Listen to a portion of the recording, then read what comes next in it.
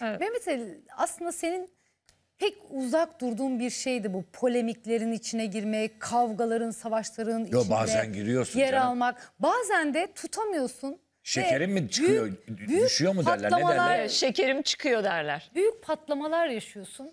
En son kavgan bir dönem yakında dost olduğun Seda Her zaman Sayan'la. yakın dost olduğumuz canım. Kaç yıllık dost. Ama, ip ama koptu. sana bir şey söyleyeyim mi? Yani birbirinize ettiğiniz sözler gerçekten derler ya kavgada söylenmez. Yani inanılmaz bel altı. Hani çok böyle namusa, haysiyete yönelik sözlerdi ve ben şunu düşünüyorum. Belki eski Mehmet Ali olsaydı bu kadar kolay affetmezdi. Ama ben ilaç alıyorum.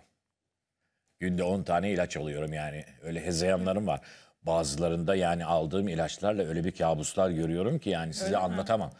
Hastanede alıyorum ilaç mesela. Doktorum beni kaçırıyor. Allah'ım ya Rabbim bir köye götürüyorlar. Orada beni bırakmıyorlar. Bağlıyorlar.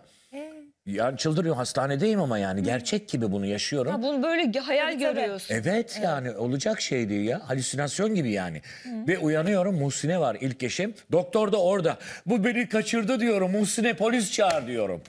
Yani böyle durumlar yaşadım. Olacak şey değil. Seda Sayan'a da diyorsun tamamen ilaçların etkisiyle böyle Yani onun sert- büyük bir etkisi var. Bir de çok dolduruşa getirdiler. O senin dediler akraban gibi. İşte seni ziyarete gelmedi evde bilmem ne falan deyince ben de öyle bir Kim serzenişte- dolduruşa getiriyor? Bu evine e, çok Oluyor giren ya. çıkanların da böyle bir etkisi mi var? Tabii tabii canım oluyor yani. İsim vermek doğru olmaz da yani. Oradan buradan dolduranlar oluyor. Şimdi izlediğinde keşke yapmasaydım Tabii tabii canım. diyorsun, ben değil mi? haksızlık ettim. Ben başlattım zaten yani. Başkası olsa beni affetmez. Ama Seda ile aramızda öyle bir şey yok yani. Aile gibi büyümüşüz. Onun oğlu benim oğlum gibi büyüdü. Elimizde büyüdü Stelio ile. Evet. Annesi Ayşe benim annem gibidir yani. Beni öyle bir sever ki yani kendi yavrularından ayırmaz.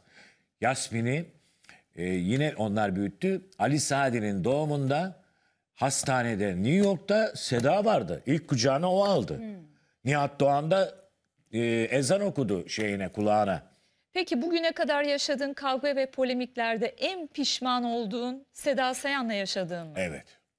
Gerçekten. Ama tatlıya bağlandı zaten. Evet. Aile içinde olur böyle şeyler. Herkesin Ama ikiniz de 30'lu 20'li yaşlarda olsaydınız, ikinizin de en fırtına dönemleri Artık e, 50'li ne yaşlarda. Seda ne Seda Sayan o özrü kabul ederdi ne de sen Doğru. Seda Sayan'ı kabul ederdin. ben de onun dedikleri de çok ağırdı yani. Çok Evet. ağır sözler. O yüzden dedim eski Mehmet Ali Erbil olsaydı belki bu kadar kolay sindiremezdi. Yani doğru olmadığı için sindirdim Evet yani. işte, tabii yani insanın doğru iftirayla olsa karşı zaten karşıya gelmesi. bunun mahkemede bir kaydı olur, bir şikayet olur. Evet. Evlilik protokolünde, ayrılık protokolünde yeri olur. Tabii. Hiç öyle şeyler yok tabii ki yani.